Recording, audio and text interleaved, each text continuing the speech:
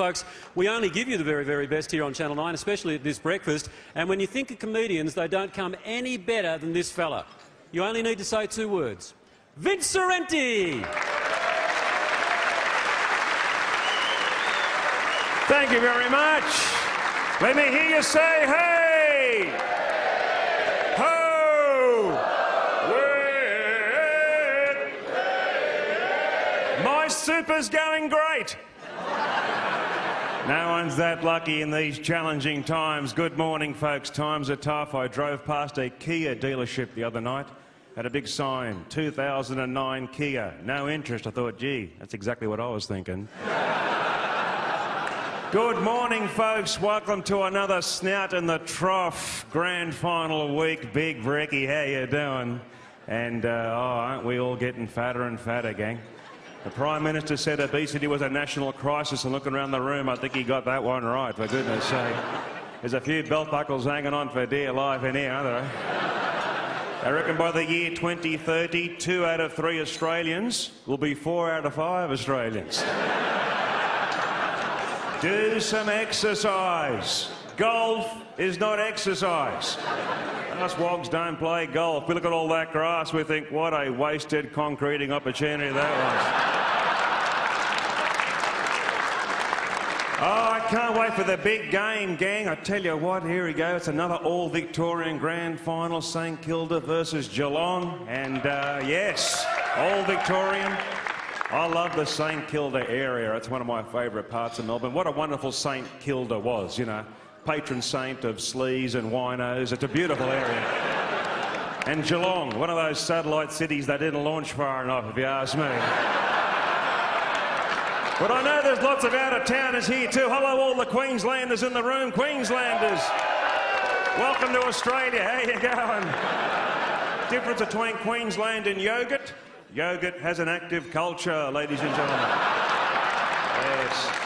Now, I love Queensland. I went to uni up there. I went to Bond University. I did medicine there. Three-week course. that Dr. Patel, he was top of the class. I thought, keep your eye on that bloke, I said to myself.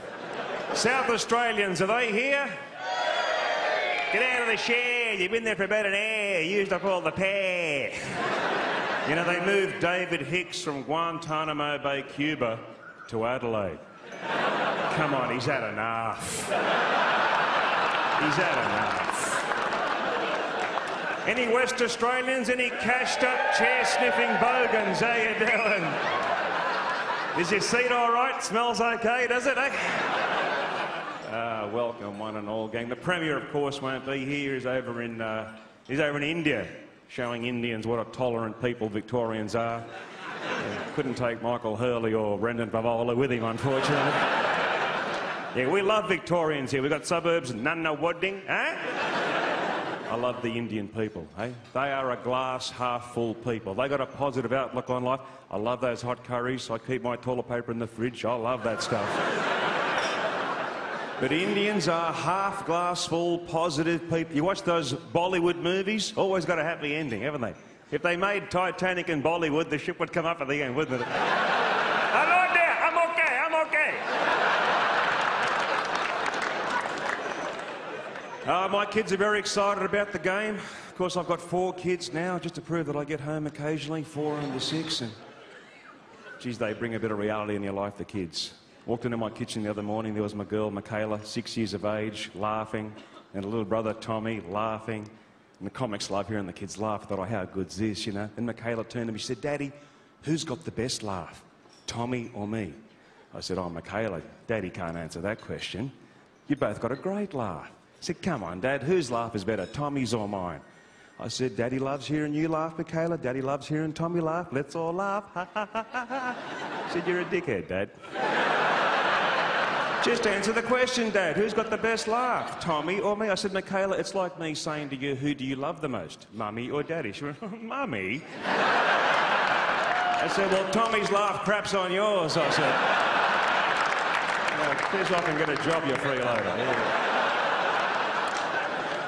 Now, who's going to win this game, gang? I tell you what, I've got to give a tip before I get off. Look, the head says Geelong, the heart says St Kilda. The lung says Geelong, the kidney says St Kilda. The liver says Geelong, the intestine says St Kilda. So it's come right down to my ass. It's going to be a tight one, ladies and gentlemen. May the best team win. Thank you very much. Very good. Hey, very, very good. How are you, Tony? Yeah, I'm good, thanks, mate. It's uh, no, it's just like you never tire of it. You just keep coming up with fresh material, uh, and we'll see some of that in your new show. That's right. A new show on Nine starts October 11 called the, the Great Aussie Cook-Off, hosted by Silvani and Sorrenti. Something going wrong Yeah, there. yeah. Oh, that's fantastic. All right, we look forward to that, and uh, you've given us your tip, So what, what else is on for the rest of the day? I've got a very busy day today. I've got uh, another four gigs before the game starts, and uh, I've got to get to the next one quick before that Colonel Gaddafi gets on. He goes on forever, that.